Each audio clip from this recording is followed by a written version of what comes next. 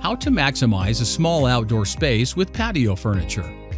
When it comes to outdoor living, who doesn't want the perfect retreat just outside the back door? Many of us simply don't have the space, and it can be tricky to create something extraordinary. Here's how to maximize outdoor space with the perfect patio furniture. Utilize space above the canopies and umbrellas. A small space doesn't need to feel cramped if you can enlarge the area above your head. Add a fantastic canopy or umbrella for instant height. Anything you add that draws the eye up will create the illusion of space, enlarging even the tiniest deck or patio.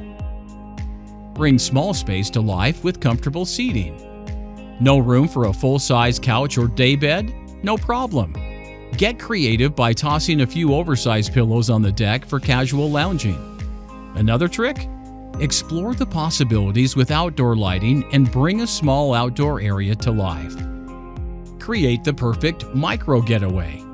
The key to creating the perfect getaway in a small space is bringing in the right details.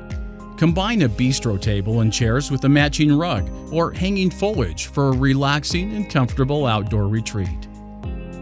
So go ahead, relax. You deserve it. What better way to relax with friends and family than in the comfort of your own backyard? Selecting the right outdoor patio furniture can enhance quality time at home and bring years of comfort, joy, and fond memories.